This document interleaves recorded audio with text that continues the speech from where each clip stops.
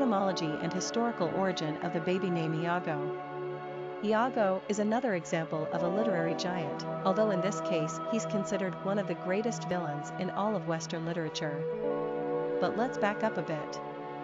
Why did William Shakespeare select this particular name for his antagonist in his great tragedy Othello, c.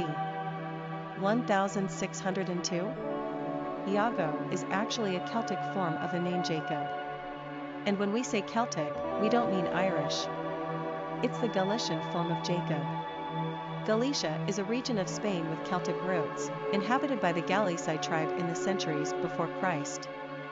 Now, for a little lesson in linguistics, because we're sure you're asking how on earth Iago is derived from Jacob, right? Well, the Hebrew Yaakov gave way to the Greek Iakobos, which was later translated into the Latin Iacobus. In the English language, the name became Jacob slash James, and in Ireland, it became Seamus.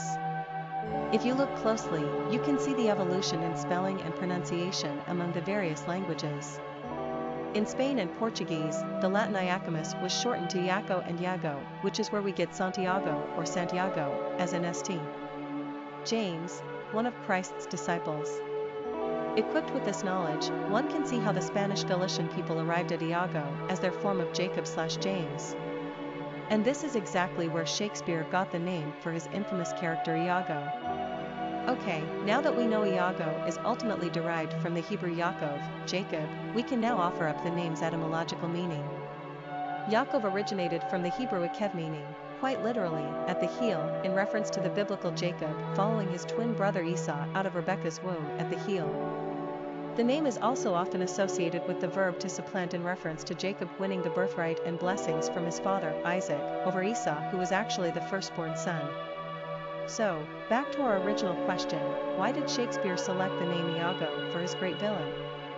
Well, just as Jacob devises an intricately clever plan in the Bible to supplant his older brother Esau, Iago, too, manipulates events in Shakespeare's play to bring about the downfall of Othello, not to mention everyone else in the process. Perhaps the bard's name choice wasn't an accident, see literary references below for more information on Iago's role in Othello.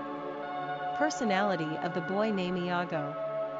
The number 5 personality loves the excitement of life and can easily adapt to all situations. As natural adventurers, these personalities thrive on the new and unexpected and prefer to be in constant motion.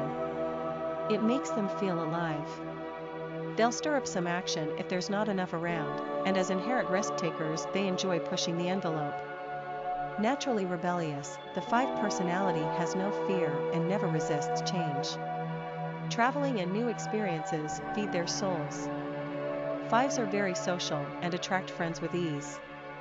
People love to be around the 5 fun loving and exciting energy, this is also a lucky number in numerology, like the threes, so fortune seems to shine on them, helped along by their own optimism and good nature. Fives have a quick wit, a cerebral mind, and are generally very persuasive. Popularity of the boy named Iago. You won't be surprised to hear that Iago has never seen the light of day on the American male naming charts. In the history of baby naming in the United States, Iago has never made the cut. Not once. Obviously, the reason for this is twofold 1. The name is just too obscure, and 2. The name is far too associated with Shakespeare's villain. In any case, we wanted to add Iago to our list because today parents are making bolder choices when selecting names for their babies. Plus, people today seem less sensitive about any negative associations of a name. In fact, some might even find it pleasing. Quick facts on Iago Gender, boy. Origin, Celtic. Number of syllables, 3. Ranking popularity, not applicable. Pronunciation, EEH go. Simple meaning, at the heel, one who supplants. Characteristics of Iago. Sensual, easygoing, adventurous, progressive, intellectual, adaptable, freedom loving. Cultural references to the baby name, Iago. Literary characters of the baby name Iago. Iago is the Shakespearean villain of Othello, ca. 1603, whose name has become synonymous with evil doing. Iago hates his master, the Moor, Othello, and plots his downfall with a dedicated deviousness that leaves no prisoners. He devises a dastardly scheme that involves his own wife in tricking Othello into believing Desdemona has been unfaithful to him. Using his post as a trusted advisor to Othello Iago, who has, he feels unfairly, been passed over